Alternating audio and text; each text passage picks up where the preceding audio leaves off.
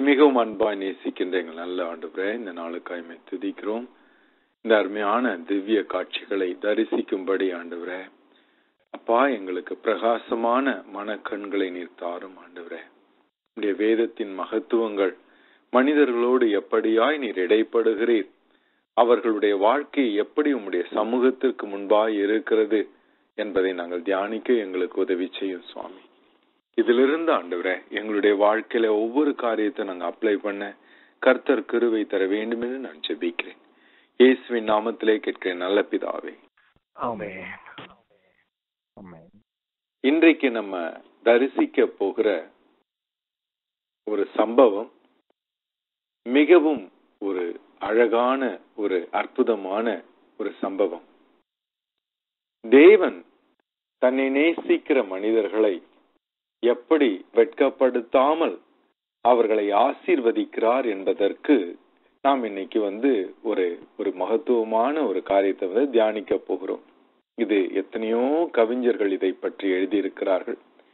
எத்தனையோ செய்திகள் இந்த சம்பவத்தை குறித்து கொடுக்கப்பட்டு இருக்கிறது ஆனா எத்தனையோ முறை நானும் இது இதை வந்து குறித்து நான் வேத பாடங்களிலே தியானித்து இருக்கிறேன் ஒவ்வொரு நாளும் புதிய கருத்தை இந்த பகுதி எனக்கு எடுத்து கொடுத்து கொண்டிருக்கிறது. இன்னைக்கு நம்ம பார்க்க போகிறது தியாவிது கோலியாத்தை வீழ்த்தின சம்பவம். அதன் பின்னணியில் நடந்த காரியங்கள். நம்மள இருவர் இந்த வேத வசனங்களை வாசிக்கலாம். ஒன்று சாமுவேல் பதினேழாவது அதிகாரம் இருபத்தெட்டிலிருந்து ஐம்பது வரைக்கும் இரண்டு பேர் வாசிக்கலாம். ஒன்று சாமுவேல் பதினேழாவது அதிகாரம் இருபத்தெட்டிலிருந்து ஐம்பது வசனங்கள் வரைக்கும். அந்த மனுஷரோடே அவன் பேசிக் கொண்டிருக்கிறதை அவன் மூத்த சகோதரனாகிய எலியாப் கேட்டபோது அவன் தாவிதின் மேல் கோபம் கொண்டு நீ இங்கே வந்தது என்ன? வனாந்திரத்தில் உள்ள அந்த கொஞ்ச ஆடுகளை நீ யார் வசத்தில் விட்டாய்? யுத்தத்தை பார்க்க அல்லவா வந்தாய்? உன் துணிகரத்தையும் உன் இருதயத்தின் அகங்காரத்தையும் நான் அறிவேன் என்றான். அதற்கு தாவீது நான் இப்பொழுது செய்தது என்ன? நான் வந்ததற்கு முகாந்திரம் இல்லையா? என்று சொல்லி அவனை விட்டு வேறொருவனிடத்தில் திரும்பி அந்த பிரகாரமாகவே கேட்டான். ஜனங்கள் முன் போலவே உத்தரவு சொன்னார்கள். தாவீது சொன்ன வார்த்தைகளை அவர்கள் கேட்டு அதை சவுலின் சமூகத்தில் அறிவித்தார்கள். அப்பொழுது அவன் அவனை அழைப்பித்தான். தாவீது சவுலை நோக்கி இவனிமித்தம் ஒருவனுடைய இருதயமும் கலங்க வேண்டியதில்லை. உம்முடைய அடியானாகிய நான் போய் இந்த பெலிஸ்தனோட யுத்தம் பண்ணுவேன் என்றான். அப்பொழுது சவுல் தாவீதை நோக்கி நீ இந்த பெலிஸ்தனோடே எதிர்த்து யுத்தம் பண்ண உன்னால் ஆகாது. நீ இளைஞன் அவனோ தன் சிறுவயது முதல் யுத்த வீரன் என்றான். தாவீது சவுலை பார்த்து உம்முடைய அடியான் என் தகப்பனுடைய ஆடுகளை மேய்த்து கொண்டிருக்கிற போது ஒரு விசை ஒரு சிங்கமும் ஒரு விசை ஒரு கரடியும் வந்து மந்தையில் இருக்கிற ஒரு ஆட்டை பிடித்து கொண்டது. நான் அதை தொடர்ந்து போய் அதை அடித்து அதை அதன் வாய்க்கு தப்புவித்தேன். அது என் மேல் பாய்ந்த போது நான் அதன் தாடியை பிடித்து அதை அடித்து கொன்று போட்டேன். அந்த சிங்கத்தையும் அந்த கரடியையும் உம்முடைய அடியானாகிய நான் கொன்றேன். விருத்த சேதனமில்லாத இந்த பெலிஸ்தனும் அவைகளில் ஒன்றைப் போல இருப்பான். அவன் ஜீவனுள்ள தேவனுடைய சேனைகளை நிந்தித்தானே என்றான். பின்பு தாவீது என்னை சிங்கத்தின் கைக்கும் கரடியின் கைக்கும் தப்புவித்த கர்த்தர் இந்த பெலிஸ்தனுடைய கைக்கும் தப்புவிப்பார் என்றான். அப்பொழுது சவுல் தாவீதை பார்த்து போ கர்த்தர் உன்னுடனே கூட இருப்பாராக என்றான். சவுல் தாவீதுக்கு தன் வஸ்திரங்களை உடுத்துவித்து வெண்கலமான ஒரு சீராவை அவன் தலையின் மேல் போட்டு ஒரு கவசத்தையும் அவனுக்கு தரிப்பித்தான். அவனுடைய பட்டயத்தை தாவீது தன் வஸ்திரங்கள் மேல் கட்டிக்கொண்டு அதிலே அவனுக்கு பழக்கமில்லாததினால் நடந்து பார்த்தான். அப்பொழுது தாவீது சவுலை நோக்கி நான் இவைகளை போட்டுக்கொண்டு போகக்கூடாது.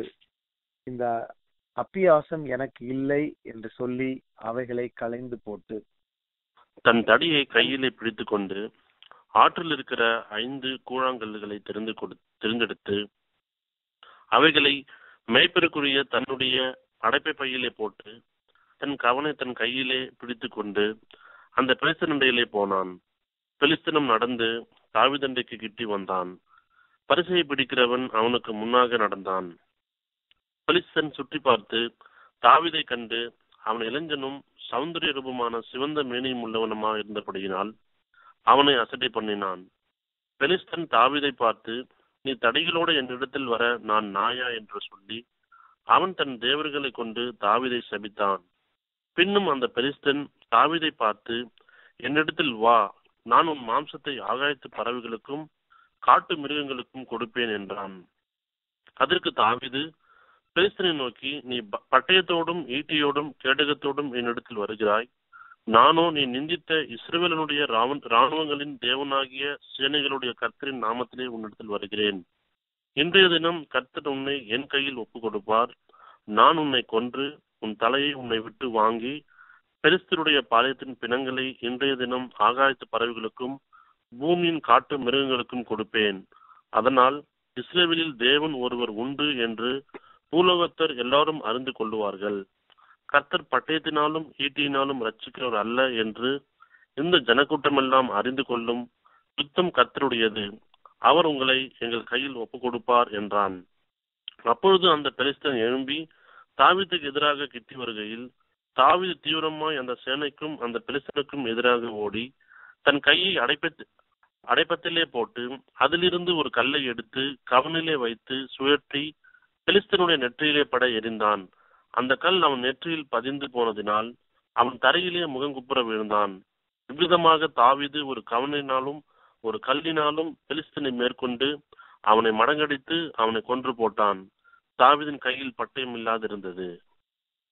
தாவீது கையிலே பட்டயம் இல்லாமல் இருந்தது. இது வந்து இன்னைக்கு நம்ம வாசித்த இந்த காட்சியிலே முக்கியமாய் நம்ம நோக்கி பார்க்க வேண்டியது. தேவன் பட்டயத்தினால் மட்டும் ரட்சிக்கிறவர் அல்ல. தேவன் அற்பமான காரியங்களை வைத்து மனிதர்களை ரட்சிக்க வல்லவராயிருக்கிறார்.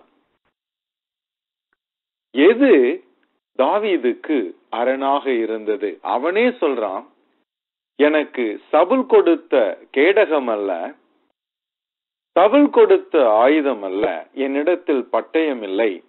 நான் எதை கொண்டு உன்னுடைய உன- உனக்கு முன்பாக நான் வந்து நிற்கிறேன்? நீ நிந்தித்த தேவனுடைய நாமத்தை கொண்டு நான் உனக்கு முன்பாக நிற்கிறேன். இந்தியாவிலே பாகிஸ்தானிய டீம் இந்தியாவில் ஆடுவதற்கும் பாகிஸ்தானிய டீம் இஸ்லாமாபாத்ல வாடுவதற்கும் நிறைய வித்தியாசம் இருக்கும். ஏன்? ஏனென்றால் உற்சாகப்படுத்துவதற்கு ஜனங்கள் அதிகமாய் இருக்கும்போது அந்த வீரர்களுக்கு ரொம்ப சந்தோஷமாய் அவர்கள் விளையாடுகிறார்கள். தாவீதுக்கு எப்படிப்பட்டவர்கள் இருந்தார்கள்? அவங்க அண்ணன் வந்து நன்றாக கவனிங்க. இவங்க எல்லாரை விட யாரு தம்பிய வந்து பாதுகாப்பாய் சந்தோஷமாய் உற்சாகமாய் நடத்த வேண்டும். அவங்க அண்ணன். ஆனா வேதத்திலேயே நம்ம பார்க்கிறோம் நம்முடைய சொந்த வீட்டாரே நமக்கு வந்து சில சமயத்துல விரோதமாய் இருக்கிறார்கள். யாரிடத்துல இருந்து நமக்கு பிரச்சனை அதிகமாய் வருகிறது என்றால் நம்ம வீட்டாரிடத்திலிருந்து அதிகமாய் வருகிறது. ஆண்டவருடைய அந்த பெரிய தரிசனத்தை நம்ம செய்யணும் போது வீட்டில் இருக்கிறவங்க அதற்கு தடைகளாய் சில சமயங்களிலே இருந்து விடுகிறார்கள். சொந்த அண்ணன் சில பேர் சொல்லுவாங்க அவங்க ஒன் சொந்த அண்ணன் இல்ல சொந்த தம்பி இப்படி சொல்லிட்டார் அப்படின்னு. ஆனா வேதத்துல நம்ம பார்க்கிறோம் சொந்த அண்ணன் சொந்த தம்பி உடன்பிறப்புகள் நம்ம இழிவாக பேசுகிறார்கள் என்பதை வேதத்துல வந்து நம்ம பார்க்கிறோம். ஆண்டவராக இயேசு கிறிஸ்துவை கூட அவருடைய ஹாஃப் பிரதர்ஸ் வந்து அப்படி செஞ்சாங்க அப்படி பேசினாங்கன்னு வேதத்துல நம்ம வாசிக்கிறோம். விசுவாசியாத மக்கள். தேவனுடைய அந்த பர்பஸை அறியாதவர்கள் அவங்க வந்து தடைகளா இருக்கிறார்கள். இவங்க எல்லாம் தடைகளா இருந்த பிறகு கூட ஏன் சவுல் வந்து வேண்டாம் நீ ரொம்ப சின்ன பையன் உன்னால முடியாது உன்னை நான் அனுப்பி என்னுடைய பெரிய ராணுவத்தை நான் அவமானப்படுத்த மாட்டேன்னு ஏன் சொல்லலை? ஏன் சொல்லலன்னா தாவீதை குறித்து ஒரு சிறு அனுபவம் சவுலுக்கு இருந்தது. சவுல் வந்து தாவீதுக்கு முன்பாக அவன் வந்து சுரமண்டலத்தை வாசித்து தேவ ஆவியானவரினாலே நிறைந்திருப்பதை சவுல் பார்த்திருக்கிறான். தன்னுடைய வாழ்க்கையிலே ஒரு பெரிய அந்த ரட்சிப்பு ஒரு ஹீலிங்கை கொண்டு வந்த அந்த தாவீது நிச்சயமாய் தேவனுடைய கிருபையினால அவன் சொல்ற மாதிரியே நிச்சயமாக வந்து ஒரு ரட்சிப்பை அவனுக்கு அவனால கொண்டு வர முடியும்னு ஒரு வேலை அவன் நினைத்திருக்கலாம். சில நேரங்களிலே நம்மை ஜனங்கள் வந்து நம்ப மாட்டாங்க. ஆனால் நம் ஆண்டவரை மேல நம் ஆண்டவரை மகிமைப்படுத்தி அவர் என்னோடு கூட இருக்கிறார். அவரால இது முடியும் அப்படின்னு சொன்னா சில பேருக்கு வந்து தேவன் அந்த ஆவியானவருடைய கிருபைகளை கொடுத்து நம்முடைய காரியம் ஜெயமாகும்படிக்காக அவர்கள் அவர்களை வந்து இணங்க வைக்கிறார் இசைய வைக்கிறார். இவைகள் எல்லாவற்றிலும் முதலாவது அற்புதம் என்னவென்றால் எவ்வளவு நெகட்டிவான ஆட்டிடியூடோட அவனுடைய சகோதரன் அது மட்டுமில்லாமல் சவுலே வந்து தாவீதை வந்து உற்சாகப்படுத்தவில்லை ஆரம்பத்தில். இவைகளெல்லாம் இருந்தாலும் முதலாவது அற்புதம் யார் என்ன சொன்னாலும் நான் இங்கு வந்திருப்பதற்கு முகாந்திரம் இருக்கிறது. நான் இங்கு வந்திருப்பதற்கு நோக்கம் இருக்கிறது என்று சொல்லி தைரியமாக இவர்களெல்லாம் சொல்றதுனால துவண்டு போக விடாமல் ஆண்டவருடைய பர்பஸை நெஞ்சிலே வைத்திருக்கிறான் அல்லவா? அது ஒரு பெரிய அற்புதம். அதுக்கு பிறகு நடந்த அற்புதம். சவுல் தாவிதை இந்த அவனை வந்து அந்த பெலிஸ்தியனை கோலியாத்தை வீழ்த்துவதற்காக அவனை அனுப்பினது அது இன்னொரு பெரிய அற்புதம் அது. இந்த மாதிரி அநேக அற்புதங்களை சுமந்தவனாய் நடந்து கொண்டிருக்கிறான் தாவீது. அவன் வந்து அவனுக்கு தெரியும். தேவன் இல்லாமல் தன்னுடைய நெஞ்சம் இப்படி தைரியமாய் போய் போக துணியாது என்று அவனுக்கு தெரியும். அவனுக்கு தெரியும் தேவன் உந்துதல் கொடுக்காமல் சவுல் தனக்கு அனுமதி கொடுத்திருக்க மாட்டான் என்று தெரியும். இது ரெண்டு நடந்த உடனே அவனுக்கு நிச்சயமாய் தெரிந்து விட்டது. தேவன் தனக்கு உதவி செய்ய போகிறார் என்று சொல்லி. அவனை பொறுத்த வரைக்கும் சிங்கம் கரடி அதுக்கப்புறம் கோலியாத். எப்படிப்பட்ட எக்ஸ்ட்ராபுலேஷன் பாருங்க. சிங்கத்துக்கும் அவங்க சிங்கமும் கரடியும் வலிமையுடையதா இருக்கலாம். ஆனால் அவைகளுக்கு பயிற்சி இல்லை. அவைகளுக்கு வந்து கோலியாத்துக்கு இருந்த அந்த இன்டெலிஜென்ஸ் கிடையாது. ஆனால் தாவிது சிங்கத்தையும் கரடியையும் வீழ்த்த தேவனால முடியும்னா இந்த கோலியாத்தையும் வீழ்த்த முடியும். அதுதான் அவனுடைய விசுவாசம். எதுக்கும் எதுக்கும் கம்பேர் பண்றான் பாருங்க. நம்முடைய வாழ்க்கையில அநேக நேரங்களிலே சில சுலபமான காரியங்களிலே தேவன் நமக்கு உதவி செய்வார் என்று சொல்லி நம்புவோம். அதை நம்பி தேவன் நிச்சயமாய் செய்வார் என்று சொல்லி விசுவாசித்து ஆண்டவரிடத்துல பெற்றுக்கொள்வோம். ஆனால் அதே சமயத்துல ரொம்ப கடினமான காரியம் நமக்கு முன்பாக இருந்தால் கலங்கி தவிப்போம். ஐயோ இது ரொம்ப கடினமான காரியம் ஆயிற்றே இந்த மாதிரி நடந்து நான் கேள்விப்பட்டதே இல்லையே. இந்த அற்புதம் என்னுடைய வாழ்க்கையிலே நடக்குமா என்று சொல்லி நாம் யோசிப்போம். ஆனால் தேவன் சாதாரணங்களுக்கு மட்டும் தேவன் அல்ல அசாதாரணமான காரியங்களுக்கும் அவர் தேவன்தான். பெரிய அதிசயங்களுக்கும் அவர் தேவன்தான். சிறு சிறு அதிசயங்களுக்கும் அவர் தேவன்தான்.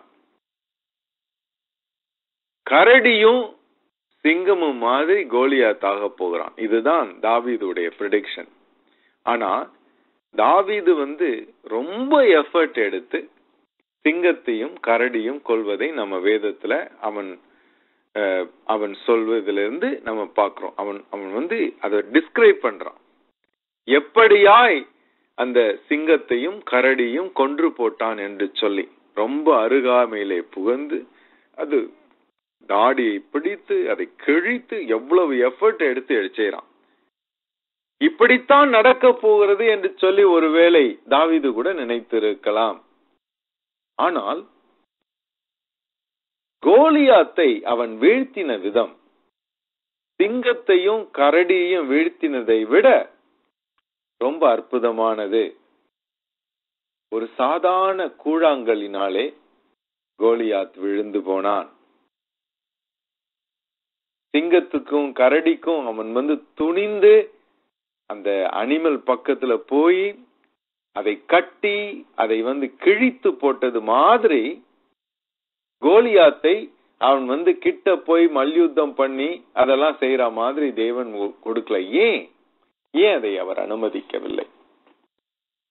தேவன் கோலியாத்தின் அருகையிலே தாவீது போக அனுமதிக்கவில்லை.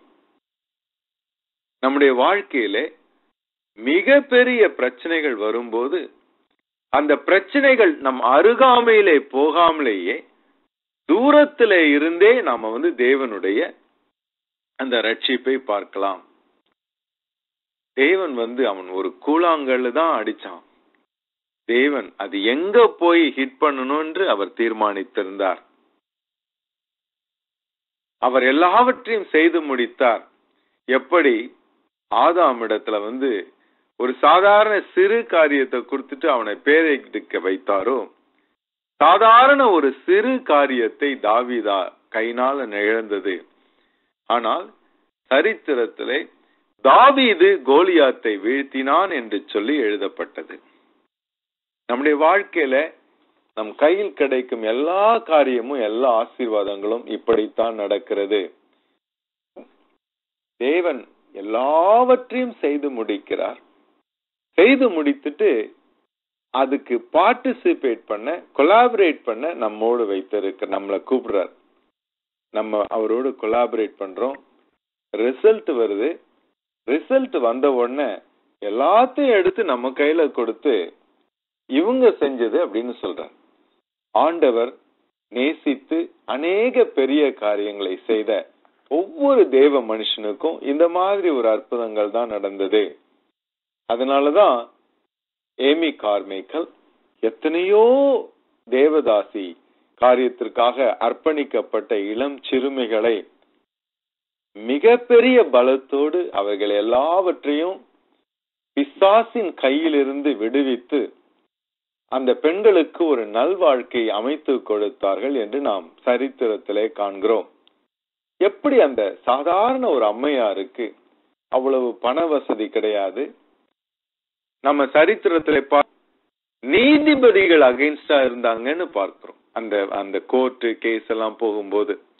ஏனென்றால் இந்த சிறுமிகளை வந்து அவங்க விடுதலை பண்ணி கொண்டு வந்த போது கொண்டு வந்து அந்த இடத்துல அவங்க வளர்க்கும் போது சிறுமியினுடைய தாயார்கள் பெற்றோர்கள் வந்து இவங்க மேல வழக்கு போட்டு இருக்கிறார்கள் ஏமி கார்மிக்கல் மேல. இந்த மாதிரி எங்களுடைய பிள்ளைங்களை கடத்திட்டு போயிட்டாங்கன்னு சொல்லி. எப்படியோ எவ்வளவோ வழக்கு வாதாட்டம் இருந்தும் எந்த எல்லா நெகட்டிவ் காரியங்கள் இருந்தும் ஏமி கார்மேக்கல் சரித்திரத்திலே ஆண்டவருக்கு மகத்துவமான காரியங்களை செய்தார் என்று இடம் பெறுகிறார். அதுக்கு காரணம் என்ன? தேவன் செய்தார். தன்னுடைய பிள்ளைங்க வந்து அவங்க படுற ஒவ்வொரு அவமானம் அவங்களுக்கு இருக்கிற எல்லா வேதனைகள் அவங்களுக்கு இருக்கிற பிரச்சனை எல்லாம் அவருக்கு இருக்கு அவர் கையில இருக்கு எல்லாம். அதனால நமக்கு முன்னாடி ஒன்றும் நடக்கல என்பதனால தேவன் சும்மா இருக்கிறார் என்று மட்டும் நினைக்காதீர்கள். தேவன் வந்து நமக்கு ரட்சிப்பை வைத்துட்டு தான் நம்ம அந்த பிரச்சனைக்குள்ளாக்குல நம்மை நடத்துகிறார். தாவீதுக்கு எப்படியெல்லாம் அவனுடைய ரட்சிப்பு வர வேண்டும் என்பது தேவனுடைய அவருடைய ஆதீனத்தில் இருந்தது. அது வந்து தாவீதுக்கு ஓரளவு தான் தெரியும் முழுமையாய் தெரியாது. இல்லைன்னா அவன் அப்பவே சொல்லியிருப்பான் நான் வந்து ஒரு கூழாங்கல்லினாலே நான் நடிக்க போகிறேன் கோலியாத் வந்து விழப்போகிறான் என்று சொல்லியிருப்பான். அப்படி அவனுக்கு தெரியாது. அவனுடைய மனதுல சரி கூழாங்கல்லினாலே நம்ம செய்யலாம் பண்ணி- பண்ணி பார்க்கலாம். இவ்வளவுதான். இன்னொரு வெப்பன் அவனிடத்துல இல்லை. வேறு ஒரு ஆயுதம் அவனிடத்துல இல்லை. ஒரே ஆயுதத்தோடு தான் போகிறான். அவனுக்கு உதவி செய்வதற்கு யாரும் அருகே இல்லை. தன்னந்தனியனாய் போகிறான். ஆனால் அந்த ஒரே ஆயுதம் பலன் அளிக்கிறது தேவனாலே அந்த பலன் உருவாயிற்று. நம்முடைய வாழ்க்கையில நமக்கு ரிசோர்சஸ் அதிகமா இல்லாமல் இருக்கலாம். நமக்கு வந்து நம்மை வேதனைப்படுத்தி டிஸ்கரேஜ் பண்ணுகிற மனிதர்கள் அதிகமா இருக்கலாம். நமக்கு சக்தி இல்லை நமக்கு அதுக்கான காலிங் இல்லை என்று சொல்லி நம்மை தள்ளி வைக்கிற மனிதர்கள் இருக்கலாம். ஆனால் தேவன் நம்மோடு இருக்கும்போது நமக்காக எல்லாவற்றையும் அவர் செய்து முடித்துட்டு தான் நம்மளை இந்த கடினமான பாதையிலே நடத்துகிறார் என்பதை மட்டும் நாம் அறிந்து கொள்ள வேண்டும். அதனால கஷ்டமா இருக்குதே இந்த பாதை டிஸ்கரேஜ்மெண்ட் இருக்குதே இந்த பாதை நம்மாலே சாதிக்க முடியாத அளவுக்கு பெரிதாக இருக்கிறதே இந்த பாதை என்பதினால தாவீது மாதிரி ரொம்ப சந்தோஷத்தோடு உற்சாகத்தோடு தைரியத்தோடு வந்து கையில கூழாங்கல் தான் இருக்கு. ஆனா அவனுடைய பார்வையில அது வந்து ஏகே ஃபார்ட்டி செவன் பயங்கரமான ஆயுதமா இருந்தது. நம்ம வந்து நினைக்கிறது தானே. அடிக்கடி இப்படி சொல்வார்கள். அதாவது டென்னிஸ் மட்டைகள் எவ்வளவு பெரிய வீரனிடத்துல எந்த வீரனிடத்துல அந்த மட்டை போகிறதோ அது வந்து அவ்வளவு விலை மதிப்புள் இல்லாத ஒரு மட்டையாய் மாறிவிடுகிறது என்று சொல்லுவாங்க. இதே சாதாரண டென்னிஸ் தெரியாத ஆளிடத்துல இருந்தால் அந்த மட்டைக்கு மதிப்பே இல்லாமல் போய்விடுகிறது. கூழாங்கல் தேவனிடத்துல இருந்தது. அவர் வார்த்தையினால இந்த உலகத்தை படைத்தவர் அவர். அவருக்கு ஒரு மெட்டீரியல் தேவையே இல்லை. ஒரு டெக்னிக் தேவையே இல்லை. அவர் வார்த்தையினாலே சொல்லலாம். ஆனாலும் தேவன் தாவீது கையிலிருந்து வந்ததுனால அந்த கூழாங்கல்லை மகிமைப்படுத்துகிறார். பாருங்க தன்னுடைய பிள்ளைகள் அவர் எவ்வளவாய் நேசிக்கிறாருன்னு சொல்லி. இப்படி கூட சொல்லியிருக்கலாம். தாவீது உன்னுடைய விசுவாசத்தை நான் மெச்சினேன். நீ கூழாங்கல்ல அடிக்கணும்னு அவசியம் இல்ல. அங்கே இரு. நான் தூதனை அனுப்பி இந்த பெலிஸ்தியனை அதமாக்குவேன். சொல்லியிருக்கலாம் அவர். ஆனால் ஆண்டவர் அப்படி செய்யல. அவர் வந்து தாவீதை உற்சாகப்படுத்துகிறார். தாவீதின் கரத்திலே இந்த பெலிஸ்தியன் விழ வேண்டும் என்பது அவருடைய ஆதீனத்தில் எழுதியிருந்தது. இந்த இத வச்சு தாவீதுக்கு வந்து ஒரு விசிபிலிட்டி தெரியணும் என்பது தேவனுடைய ஆதீனத்திலே இருந்தது. இதை வைத்து அவன் வந்து ரேங்க்ல பெருசாகணும்னு தேவனிடத்துல இருந்தது. இந்த மாதிரி பல காரியங்களை தேவன் வைத்திருந்தார். தேவன் நம்முடைய வாழ்க்கையிலே நடக்க அனுமதிக்கிற ஒவ்வொரு காரியத்துக்கும் அதுக்கு பின்பாக ஒரு பெரிய தேவ திட்டத்திலே அந்த ஒரு காரியம் இருக்கிறது. அவர் விருதாவா எதையுமே அனுப்புவதில்லை. அவர் விருதாவா எந்த சம்பவங்களையும் நம்முடைய வாழ்க்கையிலே நடக்கும்படியாக பணிப்பதில்லை. எல்லாவற்றுக்கும் ஒரு பர்பஸ் உண்டு. எல்லாவற்றுக்கும் ஒரு உறுதியான ஒரு நோக்கம் உண்டு. தாவிதுக்கு கூழாங்கல்லினாலே கோலியாத்தை அவன் அடித்தது. கோலியாத் விழுந்து இஸ்ரவேலுக்கு ஒரு பெரிய ரட்சிப்பு வந்ததை தேவன் அவருடைய பரிபூர்ண சித்தத்தின்படி அவருடைய பர்பஸ் தாவீதின் சிம்மாசனத்தை அவர் நிலைநிறுத்துகிறார். நம்முடைய வாழ்க்கையில நம் ஆண்டவருடைய பார்வைக்கு அற்பமானவர்களே கிடையாது. நம்ம ஒருவேளை நம்ம நினைக்கலாம் நம்ம கூழாங்கற்கள் என்று சொல்லி ஆனால் தேவனுடைய கரத்தில் இருக்கும் கூழாங்கல்லாய் நாம் இருப்பதினாலே கோலியாத்துகளை வீழ்த்துவதற்கு தேவன் நம்மை பலம் பொருந்தினவர்களாய் மாற்றியிருக்கிறார். நாம் மற்றவர்களுடைய பார்வையிலே அற்பமாய் காணப்படலாம்.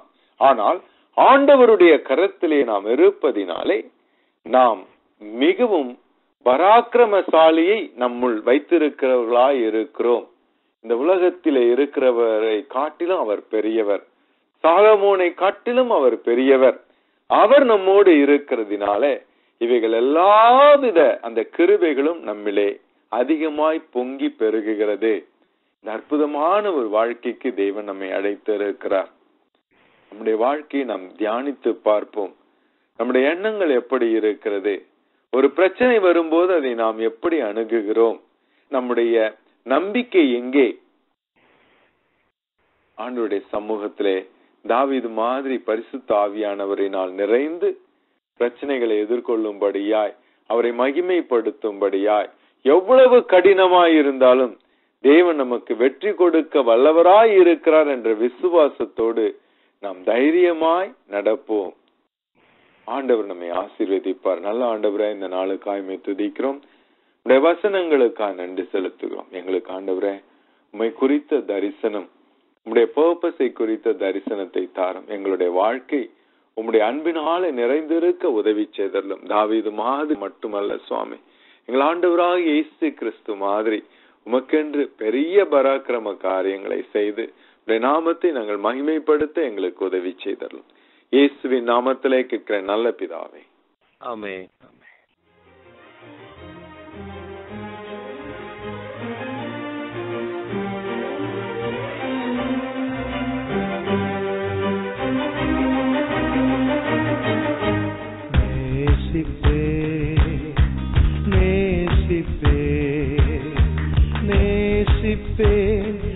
wish